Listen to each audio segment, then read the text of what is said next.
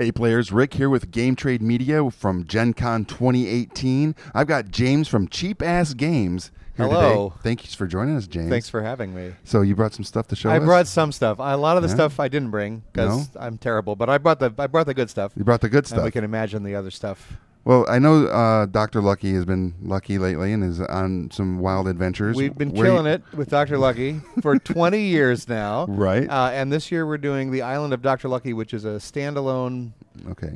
new version of, of the Kill Dr. Lucky game. Okay. So tell us a little Well, bit let's about it. Break it Let's- out. so let's take a look. You know the, uh, the it's it's it's a most dangerous game. The the idea here is that we're all trying to kill Doctor Lucky on his island, and his island is trying to kill us at the same time. So what that really means is that there are cards we can throw at each other Okay. that are the hazards that live around the island. Um, this is a new kind of card. We've got your weapon cards, which are pretty familiar from the old version of the game. Mhm. We've got hazard cards, which are new, and then we've got good old failure cards, which is how Dr. Lucky gets most of his luck.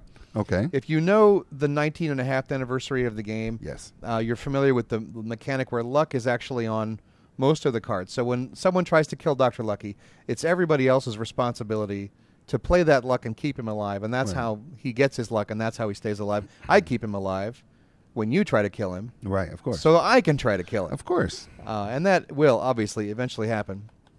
The weapons help you attack him better, and the hazards. Uh, you can actually throw at anybody. So I can throw at Dr. Lucky, I can throw at somebody else. They have to be alone on a particular kind of space. So this is the mountain cat. You throw it at somebody who's standing on one of the mountain areas, Okay. and they either have to, to discard luck to cancel out this number two here, Okay. or they have to pass you a card.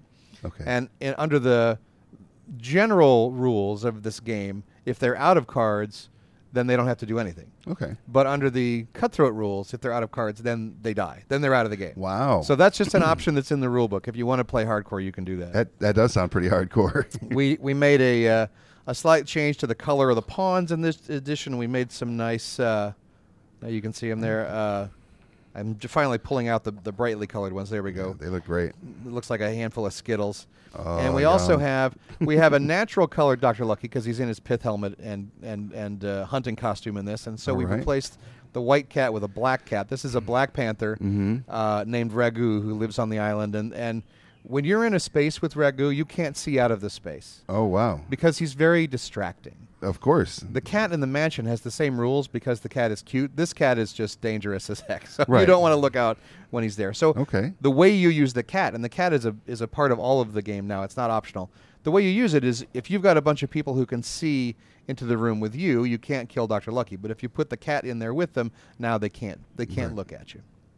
Pretty simple. Uh, Dr. Lucky is a fairly familiar game, but you know he's going to chase you around Right. the island. You can stand in front of him to get an extra turn. Mhm. Uh, wait, wait, wait where you want to be with him. All the weapons are better in a specific location. So Sure. if I wanted to kill him with the uh, with the pack of smokes, good good call.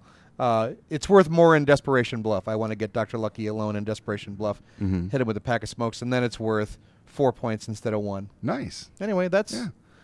And one good thing too is if you're here at Gen Con and are seeing this and you stop by your booth, which is 1843, 1843? 1853. I don't know. It's the very end, End of of 18. 18, yeah. Uh, it's right across from Exhibitor Services and right behind Slugfest Games. and you can get uh, a, a picture with Dr. Lucky himself. Yes. And uh, BJ Becker is here in his Dr. Lucky costume, and we have a backdrop that's basically the, the cover, Mhm. the por- the postcard of the cover of the of the game. So you can stand there, and we have a tentacle you can kill him with. We've got we've got the the big stuffed cat. A We've got a whole bunch of other uh, uh, a- murder a weapons. horn. We've got the uh, clown horn.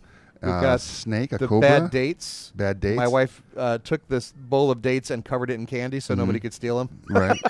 So we have a solid bowl of dates Oh that you can God. attack him with. But it's a great photo op. So yeah, Yeah. uh, that that's that's lots of fun. and if you get the photo, uh, and as long as there's some of these left, yeah, we have a gonna- big box of lays. you're so to get laid. come and come and shed them while you can. So what else did you bring to show us today? Let's see. The next thing in my stack of goodies, And they are amazing goodies, by the way, everybody. the Sailor Moon Crystal Dice Challenge. Okay. Um, if you know the game Button Men, this is that game, Okay. but with a Sailor Moon license. And I'm showing it off, although it's not our publication. Okay. Um, this is this comes out from Discami Games. Uh, Mark MacKinnon's in charge of that. He doesn't have a booth here, so we are selling it. Okay. Um, but it's it's Button Men with Sailor Moon characters. They've got Nice. characters on cards. This is pretty much what we did with the last edition of Button Men 2. Um, Oh no, dice. dice. Oh no. We put the characters on on cards like this. So there's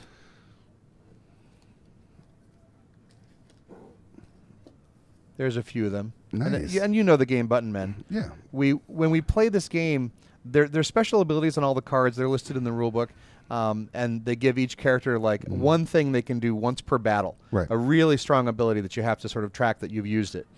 But the basic mechanic is you start with the the four red dice on the card, and I think the colors don't actually are not relevant. So you just start with these four four dice. So you would take a Right. four, a six, a twelve, and a uh, twenty. six, a twelve, and a twenty. Yep. And I would, if I played this character, wow, I start with a one and a two. I got to read this thing because that's that's bizarre. Okay, there's no one and two in here, but I'll use these. The green is my one. Mm. When you lose a round, Mhm. you get to pull one of your reserve dice into your pool. Okay. So we're still playing best three out of five, and every time you lose, your character gets a little bigger. It's very constructed to basically always last for five rounds Okay. but you're still using your strategy uh, and you know basic button men play to play the game. I'm not going to use this character because he's got to have an ability that I don't know. So let me try this.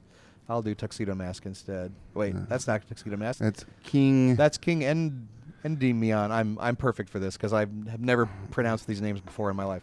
Okay, f- six ten 6'10", and two twenties. then two twenties. Let's play around a button men. Wow, that wasn't a one, but then you knocked it to a one, so I'm going to take it. All right. All right, so I have all the ones. I got to go first. The lowest single number gets to go first. Okay. I only have a one. one. We're going to take turns capturing each other's dice. Mhm. The bigger dice are worth more points. Uh, so I, I'm going to use. I'm going to capture your 20 sider with a one on it, All right. and I'm going to use my 20 sider to do that. And I re-roll the die that I attacked with, so that turns into a gigantic four. All right.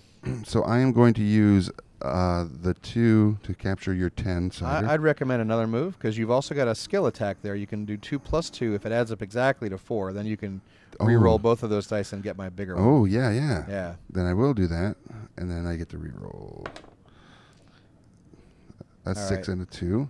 So I've got two dice that are showing one, and I don't want to roll my 19 until I have to. So I'm going to do one plus one takes two, and just get your four-sided die. Oh.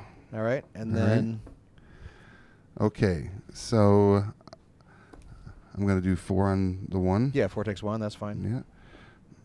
Yeah. Oop, Okay, was that was a six. Yep, a six. Um, I'm going to do six takes six. So that was a six. I'm taking it. Six takes six. Curses. You're only attacking six takes one, and then whatever you roll, I'm taking it with this. Yeah. And your score is the size of the dice that you took plus half of the size of the dice that you kept. So I would get 10 points for this. Right. I would get the number of sides over here. Um, and it looks like I'm ahead. So you, having Yeah. lost the round, you could pull one of these Okay. into your list, and now you've got five dice to my four, and we play another round. Wow. That's that's Yeah. Button Men. Yeah. Um, and this game is new at the show, or very recently new at the show. Okay. Uh, we also have a Button Men game that we that you and I have played Yeah, we have before. played it. that's that's the the the Fight City set. Right. The Button Men beat people up is what it's called. And that one's very similar to this. It has uh, a lot of dice, Mhm. and it's got 48 characters that are, are all playable with several different abilities Right. inside that. All new art, all new uh, uh, recipes and stuff in that box. Nice. And what I also didn't bring to show you Hmm. is our next Button Men set, which is called Button Men Originals. Okay. And that just comes in a card pack. That's Okay. just uh, a pack of 50 cards. And it's called Originals because it is many of our old sets, all, Okay. all changed into this trading card game format. So it's got the basic rules and then any ad- extra rules you need for each character is on the back of each card. Okay. Um, so it's got the soldier set, which is the very first set with Avis and Hammer and Bauer and Stark and all those crazy characters. The vampire set, the Brom set, the uh, the fantasy set that was uh, illustrated by Larry Elmore. Right. Uh, our um, our samurai set with focus dice, and it's also got a few teasers that are extra cards for the core set. It's it's it's a lot of characters in one pack of cards. That's the great thing about this new format is the buttons that we used to sell this on were pretty expensive for what they were. They were they were five numbers on a button, Right. and we sold them for like two fifty. Okay. And now you can buy the whole deck for twelve. Nice. And that's got like fifty plus cards in it. Ah, that's amazing. Yeah. All right, that's Button Man. I love it. This is going to go fast, I think. I agree. Yeah. The license alone is is a, is a, is a get. So And the cool thing is, this is actually a set that MacKinnon did about 15 or 20 years ago. Wow, okay. Uh, not exactly the same characters, but very similar, similar mechanics and everything. And he reacquired the license to do this edition Right. almost simultaneous with our new edition of Button Men, too. So it was really good timing. absolutely. And it's a great looking set. And this is available at your booth this weekend. It is indeed. And how much is that going for? I think it's 35. Okay, perfect. Don't quote me on that, but I believe that's how much. It's in that range, It's ladies in and that gentlemen. range. Yeah, yeah. All right, what's some other fun things you've brought? This is Rochi. I want to show you Rochi. Okay. Um, this is a gambling game that was invented for a novel. Okay. So, if you remember Tak, I do remember Tak. Tak is described in the Name of the Wind. It's Mhm. a it's it's the Patrick Rothfuss talks about this sort of chess-like go-like game, but Mhm. doesn't give any of the rules because he didn't have any of the rules. And Sure. years later, we worked together and actually made it real. Well, Sonia Lyris is a friend of mine, and she's a novelist, and she's writing the sequel to her book, The Seer, which is about a girl who can see the future. She wanted to put a gambling game in book two, and I said, let's write that before you write the book. And then when you describe it, you can talk about the rules. And Right. she's like, yes, let's do that. So this is a gambling game from a, a fantasy world. Okay. Um, it was sort of invented so that a, a prognosticator could, could beat it, which is pretty much any gambling game. sure. Um, but the deck is sort of like a tarot deck. And what I have here is a playtest deck. This is nothing like the final art. Okay. The final art is like a tarot deck in that every card has a beautiful, beautiful different illustration on it. Okay. So it's not just like the major arcana; it's an entire so- set of uh, this this uh, this suit. The seven suit actually has 14 cards in it. Okay. And this one's called wine, so there'll be a picture of wine or whatever the tarot Sure. card, you know, embodiment of that idea is. Here's the drum. Here's the purse. Here's aftermath. Here's the messenger. Every one of these is a different card. Okay. The way the game is built is each suit has a different number of cards in it. So this is the commons suit. Mm-hmm. It has a number seven on it, Okay. but there's actually 14 cards in that suit. All right. And that's true all the way down. So this is the kin suit. It has a six on it that tells you there's 12 cards in that suit. Um, Aftermath is in the Valor suit. That's a five, so there's 10 Okay. cards in that suit, all the way down to the Mage's suit, which has a two on it, and there's four cards in that Okay. suit. Um, it's a gambling game where we're betting on which suit is going to cut first. And the definition of cutting is sort of the key of the game. So I'm going to show you how that works. Okay. Uh, and I won't go into a lot of detail about the betting, but this is the core mechanic of the game and of a few other games that we also wrote with this deck. Okay. Cutting is this you deal cards off the deck until one of the suits is half exhausted. And that's why the number on the card Mhm. is half the size of the suit. Because Right. now it's starting to make sense. As soon as there's four fours, Right. that's the suit that cut. Uh, or if there's six sixes, or whichever suit has n of its card come out. Oof. If you had bet on the fours, Fours. to cut, that's the suit that wins. Everyone who bet on the other numbers would lose, and their money would go to you because you bet on the fours. Okay. Uh, something else about this game is that there's a day and a night half. So there's actually the, the dark borders in this suit are the Mhm. night cards. okay. So there's four night fours and there's four day fours. Uh, in some of the other games, you can bet on very specific combinations of those cards to come out and win Oh, even wow. more money. Oh wow. Okay. Yeah. So so that's that's the deck and that's how it works. That's pretty fun. Uh, this is being published by Campaign Coins. Oh, nice. Uh, it's they're starting to circulate the first illustrations for it now. and They're absolutely gorgeous. Uh, they're going to kickstart it when most of that art is done because they don't want to, you know, okay. no, they don't want to be wonder when it's going to get done. Right. Uh, but that's going to happen sometime this year, I think, and we're Mhm. pretty excited about it. And I'm running some demos of this game at the show. Nice. I, I am hearing some cheering coming out from uh, from the the football stadium. I wonder if they're excited as well. Let's see what's going on down there real quick. There it is. Look at that. Uh, Johnny was concerned because there's a lot of empty space down there, but uh, you had said that just that just is uh, more possibilities, right? Is that what you said? that the, the, the empty space just means more possibilities. Uh, but yeah, there's gaming going on within the stadium here, uh, not just in the convention center, which is so super cool. Uh, I, this, it's, it's an amazing event. So what besides Roshi now? We you- should talk about the elephant in the room, Uh, there is an elephant in the right? room. This is another game that I'm not publishing. You see the basic thread here? Yeah. Games I'm involved with, but I'm not publishing right now. Um, this is my travel copy, obviously, of of uh, of this game. But uh, there we go. Um, that's nothing like what it's going to look like. It's a Lego box Oh. with Dagron scroll, scrolled on the front. hmm This is the Trogdor board game. Trogdor board game. Trogdor, if you're familiar with Homestar Runner and Trogdor and all the great cartoons of 15 years ago, Right. um, those folks came to me with a game design and said, let's work on this together Okay. and let's bring it out. And it's actually in the very middle of a Kickstarter campaign right now. Which is ridiculous. Uh, it mean, it is, is- it is it- definitely doing amazingly well. Yeah. I can't take credit for any of that, but I did help them with the design. Okay. Um, and the basics of the game is I'm not going to lay it out, but basics of the game is that there is a map that's made out of 25 cards like this. Some of them are simple, like the one with flowers on it. Some of them have mountains or cottages or whatever. Okay. One of them has a lake, uh, and they are on the flip side burnt. Oh. We are all uh, the keepers of Trogdor. Okay. We are all controlling the Burninator, the one-armed dragon Trogdor, who's in here somewhere. Where is he? Where's this boy?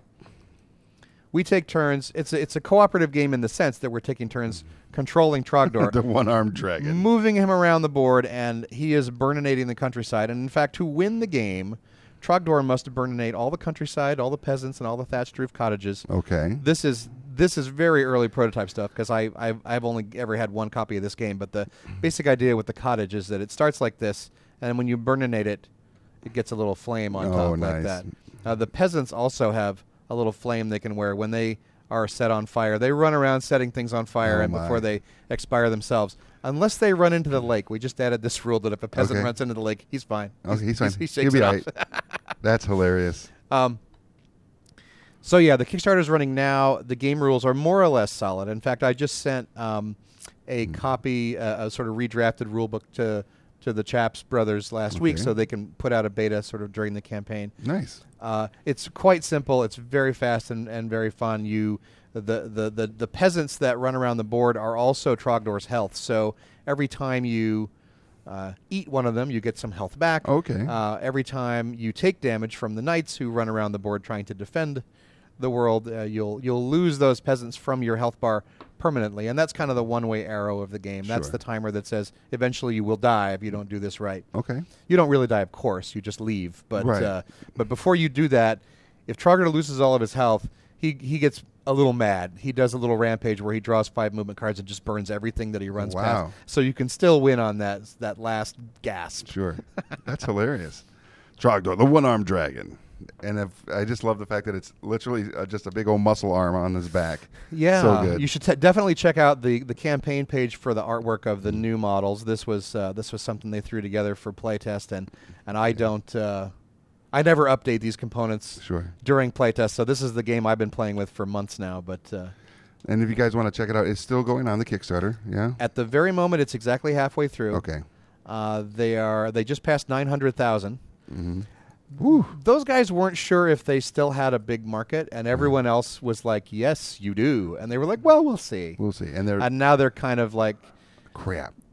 they're surprised by their success. That's Good. right. That's I good. I would not wish anyone their first campaign to be a million dollar campaign because Sure. it is quite a headache. Yeah. And also Uh, the follow-up to that is going to be, you know, th- there's going to be expectations. Yep. Yeah. Yeah. But they're doing great, and Good. it's going to be uh, fantastic. And I, I am happy to have contributed at least a small part. So you're contributing to a lot of things right now. I It looks like you you got your hands in a lot of different game designs. And uh, is, is this something that uh, we will be seeing more from James? I am trying to restructure my life so that I do more design work and less of all the rest. Okay. So I run Cheapass Games right now. Right. Um, but uh, we're looking at a partner to take over a lot of that uh, before the end of the year. Okay. And what that basically means is what I've done with Cheapass during what I call phase three, like the last five years of the company, Right. I've done some new releases, but primarily I've been taking the best of the first generation games and making deluxe versions of them. Okay. And someone else could be doing that. Sure. Right. And there's a huge catalog. There's still 100 games with two or three good ones still in there. And and someone than two to three. someone could probably do an even better job of doing that than I am. And so that's we're finding someone to do that. To look back at games like Brawl and Fightball and Diceland and really like titles that never got a, a good shot. Okay. Um, and market them better than I would. And in fact, I think uh, a, a company with better reach and, and bigger staffing and their own warehouse and all those things that I don't ever want Right. uh, will do a better job selling Tak as well. That's a game that still Sure. needs to be just leveraged like crazy. So, um, so we're finding friends to do that. Good. And what that means for my life is I can do more sort of freelance and consulting work like this, but I Mm-hmm. can also just do more designs. Back from phase one, when I just did whatever I want. Right. Um, games like I want to do a game called Too Many Notes Okay. that's about trying to become the court composer in Salzburg or murder your rival, whichever you know, Yeah, whatever. whichever comes yeah, first. Perfect.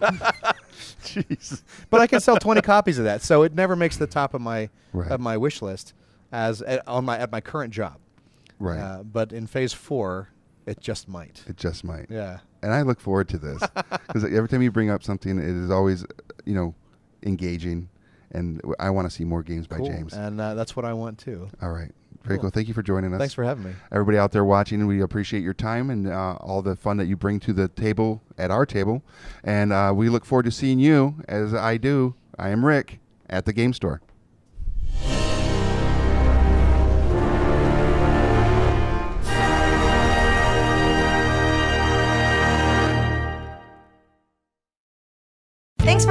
Trade Media. Make sure to leave us a like and click that subscribe button so you don't miss out on any new content.